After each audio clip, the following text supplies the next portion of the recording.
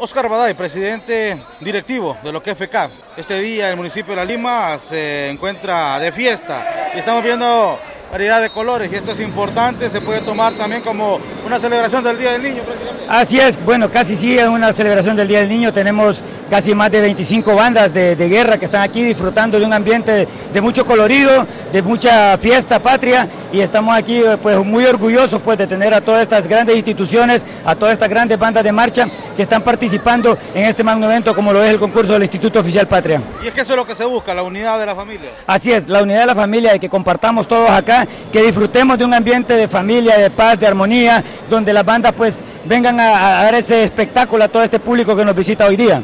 Estos son los futuros músicos de nuestro país. Así es, esto, de aquí salen los futuros músicos de nuestro país, de los que andan en, los conjuntos, en las agrupaciones musicales, pues ellos eh, dan todo lo mejor de sí, sudando por más de seis meses sacando sus rutinas y estamos muy felices de tenerlos aquí en el instituto. Y es que esto es lo que se busca, que estos jóvenes tengan la mente ocupada en algo positivo y no anden en grupos vandálicos. Así es, eh, eso es lo bueno, pues que esas energías las canalizamos aquí para que ellos puedan ejecutar un instrumento del cual ellos eh, ya han escogido, pues, y estamos muy felices, pues, de que esta gente esté ocupando este tiempo en algo muy bonito como es la arte cultural, como es la música, y estamos muy orgullosos de que estén aquí presentes. Asimismo, la colaboración de todos los directores que están participando también en este concurso.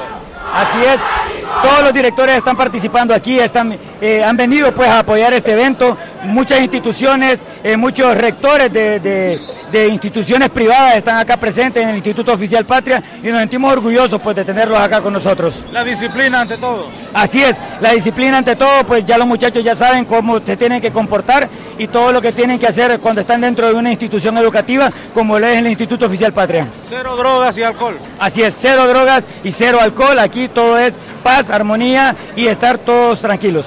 Con las imágenes de Juan Carlos Hernández de Nimengíbar Noti 6, el canal del pueblo hondureño.